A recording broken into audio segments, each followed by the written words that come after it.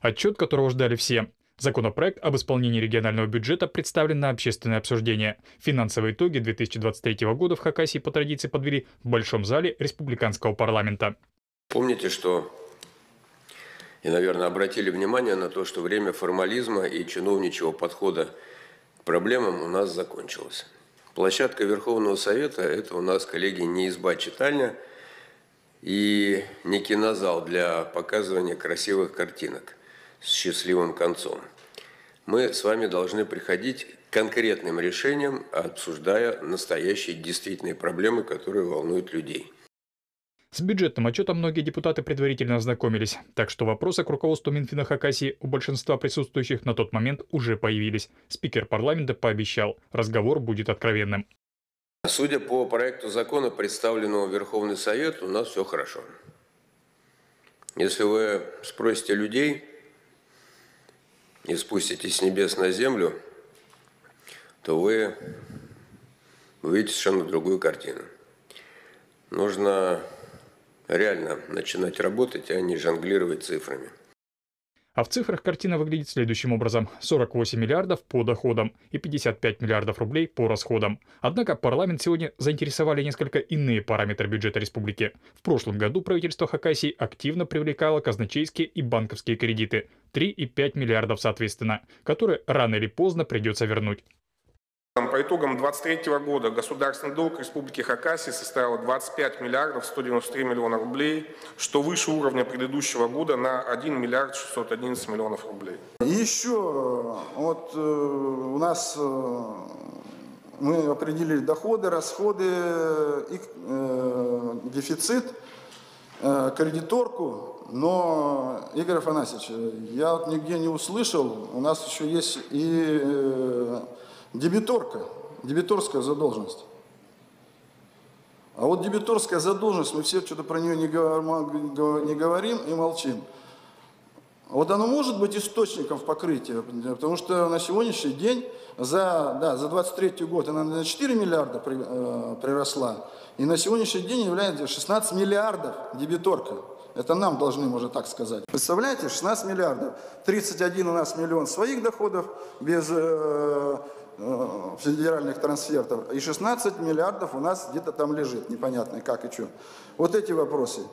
Поэтому таким образом, э, принимая во внимание вышесказанное, можно сделать вывод, что в 2023 году прирост доходов от налоговых поступлений, так же как и снижение налоговых поступлений, обусловлены внешними факторами. И ну, можно сказать, без участия практически правительства. То есть мы никак не влияем на это. Но надо ситуацию менять. А Хакасия продолжает находиться в тройке регионов Сибирского федерального округа с самой высокой долей населения, живущего за чертой бедности.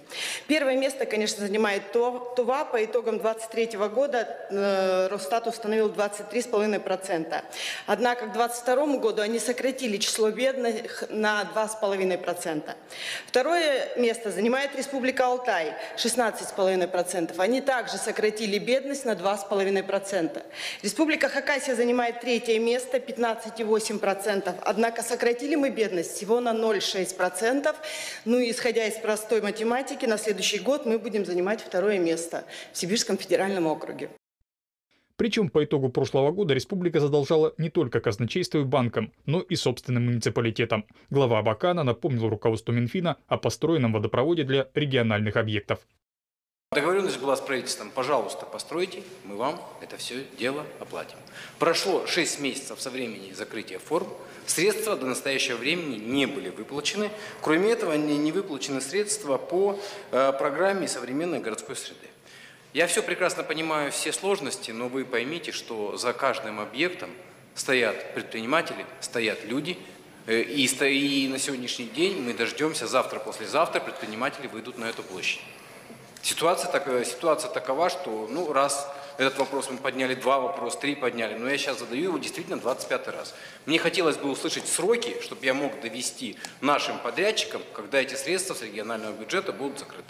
Ну, не открою никому страшную тайну, что на 1 мая кредиторская задолженность консолидированного бюджета составляет уже 5 миллиардов рублей в том числе республиканская 1 975 и значит, муниципальная 3 миллиарда рублей.